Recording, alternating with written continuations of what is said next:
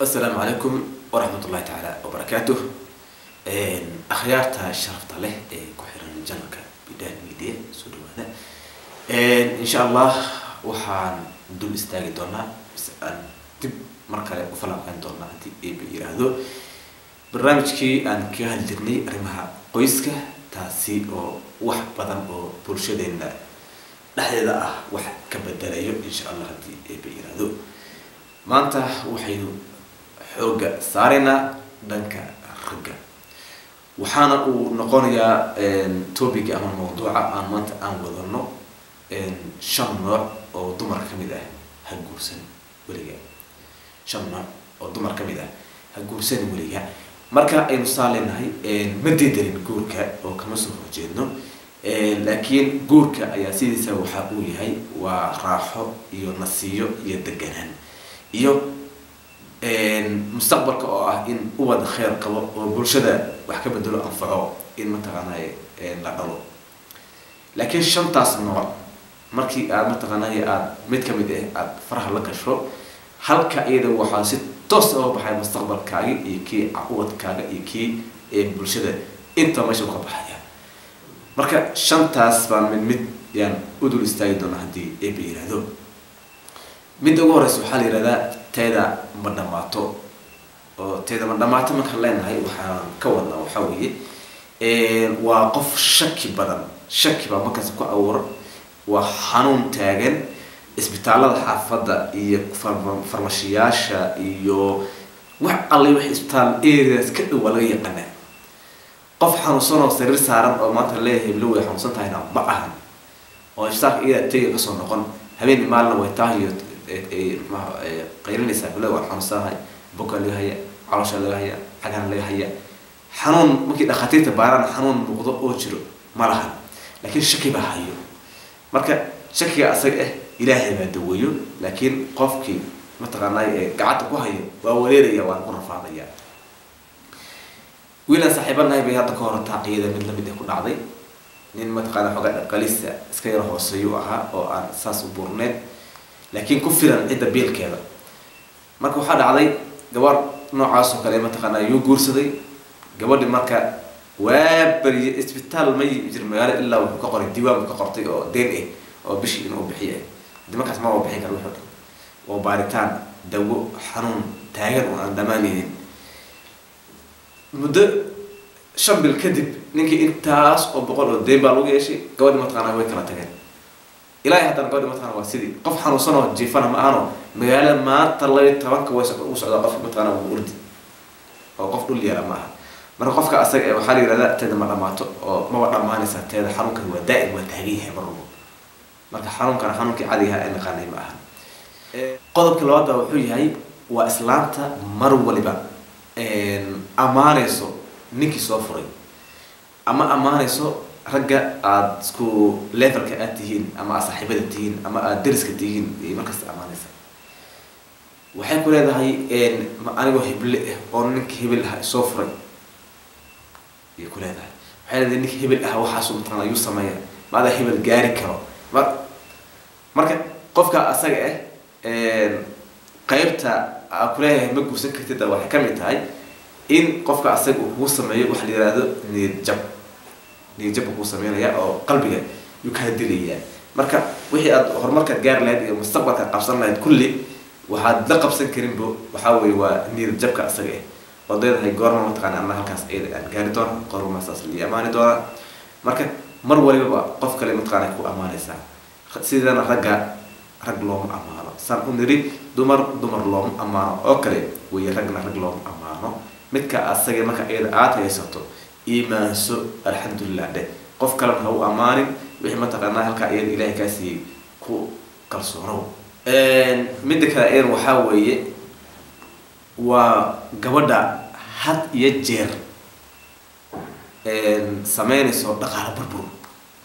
Dhaqaalo burbur marka leenahay waxaa weeye qoftan iyada waxay markasta ku dadaaleysaa wax allaale iyo wixii suuqa yaalo.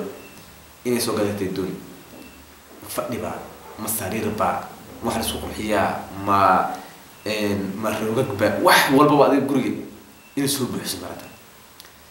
Marka markay bishan sala ay yaalaan waa la bedeli kuwa kale la keeni. Marka qofka asaga marka wuxuu ka shaqaynayaa dhaqaala burbur buu ka shaqaynayaa iyo in aadan heer aadan gaarin.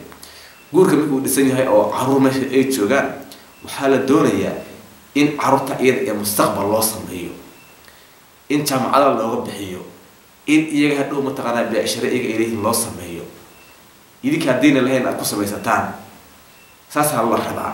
Laakiin haddii markasta laga fikiro wax dhammaanayo guriga yaalo oo loona baahnayn sidiisaba shaygan markii uu baahidaada ka baxsan yahay xaaraan buu noqon mataqana inaad sii waxayso because israaf buu noqonaya wixii marka iyada baahidaada ku eg yaa la doonayaa inuu ku ekaado laakiin waxay dhaafsan shayga asaga ma xataa haddii adiga mataqaanaa uu dhaafsan yahay dad baa u baahanaa sii laakiin islaanta iyada mar waliba waxay ka shaqeysaa dhaqaalahaada su hoos ugu dhici lahaa. Waxay raadisaa in dhaqaalahaada ay hoos ay u rido maalin dhaweyd baa nin iga sheekeynaya qiso. Waxa uu yidhi gabar baa u timid nin wadaade oo su'aal weydiisay.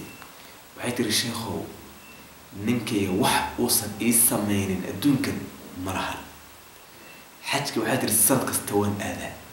Aniga iska daa waxay tiri hataa ilaa marku saa u dhasho gee baan dhahaa anigana markaas olama jeeday tiri marka ayada xaj gee iyo ilmahan gee aan leeyahay waxaan ka wadaabay tiri sidii dhaqaalihiis uu hoos ugu dhici lahaa. Uusan dumar kale ila gursan lahayn.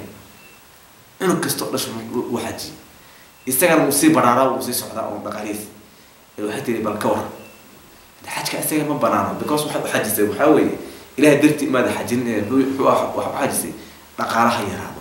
Marka isagana ilahay baa u barakeeyey adigana ilahay baa mataqaana kaa naaqsiiyey marka arrinta saasaa mataqaana jawaabteedii iyay noqotay. Marka ma banaano in aad mar walba aad ka shaqeyso dhaqaala burbur qofka saddexaad baa waxa uu yahay nooca saddexaad ee dumarka in la gursanayno waxaa weeye may nooca afraad. Waa gabadha had iyo jeer isku mashquulsan iyada waxaan ka wadnaa ereykaas waa in aan faahfaahino waxay ku mashquulsan tahay mar waliba inay iyada ishagaajiso isqurxiso iswaxiso wax uun soo galato iyada u nafteeda. Marka meesha waxaa ka baxay tii zawjkeedii. Meesha waxaa ka baxay tii caruurtii. Waayo qofkan waa ilaabsan yahay wixii o dhan isaga naftiisa keliya ku mashquulsan yahay. Taa iyadana looma banaano wax fiican ma aha. Waxaa la doonaya waxaan in wax saman inuu yahay. Gabadha xilli isku xisay leedahay oo ay gurigeeda joogto. Xilli ay zawjkeeda mataqaana ay muxuu aha ay tacaamulkiisa la sheekeyntiisa ayay leedahay. Waxaa kaloo ay leedahay ubadkeeda. Xilli mataqaana ay xanaanayso oo ay edbiso mataqaana ay wax ka bedasho laakiin mar waliba hadday noqoto iyada keliya taa iyada ma soconayso meesha iyada wax badan baa ku burburay oo ka baxay. Qodobka shanaad waxaa weeye waa gabadha qaylida badan buuqa badan mushkilada badan dagaalka badan. Ya mar waliba dariskaa ka soo dacwoodo. Markay inta ka qayleysa dariska dhan baa mataqaana wada maqli qaylideeda. Waa qof af dheer qofka asaga eh ma banaana mataqaanay in aad guursato? Ma fiicno. Banaani ka hadli mayna mid diinta kule ma aha oo mataqaanay ku banaanta ad guursan kartaa. Laakiin adigay mataqaanaa dhibaato kugu tahay markii aada guursato? Maxaa yeelay mar kasta waxaad dhex jirtaa qaylo iyo rafaad iyo xilliga intaad dhibaat guriga aad nasan lahayd waxaa la kulmaysaa qayli taagan. Waxaad la kulmaysaa deriskoo cabanayo waxaad la kulmaysaa dacwooyin fara badan oo yaalo. Adi markasta xaakim baa tahay marka. Inaad maxkamad joogto. Yaa tahay. Marka dumarka qaylida badani lama ammaanin haddii aad ku jirto fadlan iska daa iska yaree. Adduunku wax aan la goon karin ma lahan. Iyadoo wixii dabeecad uu yahay haddana qofka haddii uu isxakameeyo wax badan uu bedeli karaa. Isku day in aad wax ka bedasho dabeecadahaada gogoonida ah si aada ula noolaato bulshada. Maxaa yeelay mar kastoo qaylidaada iyo iyo baakaada uu fara badan yahay iyo dagaalkaada uu fara badan yahay ilmahaagu iyagoon saameyn bay ku yeelanaysaa. Xataa haddii aada dhimato yaa wartii qaylida badneyd baa dhashay wartii inkaarneyd baa dhashay. Ilmihii marka wuxuu ku korayaa cuqdad wuxuu ka korayaa ilmo mataqaanaa liita yuu noqonayaa. Maskaxiya mataqaanaa ilmaha u dhimanaya. Marka si waxaas oo dhan ilmahaada ugu dhicin zoojkaadana aadan u rafaadin. Waa in marin waliba aad ahaataa qof dhexdhexaad eh. Wax dhexraadiya inaad ahaato wey taasaa kuu fiican kuna habboon. Maanta shantaasi qodob yaan idin waday oo idinla wadaagayay. Waxaan filayaa in aad idinkuna wax badan aad ka faa'iideen. Inta aan barnaamijka mid la mid ah ku kulmayno waxaan idinkaga tegayaa anigoo ah cukaas sheekh maxamed sidaas iyo nabad geliyo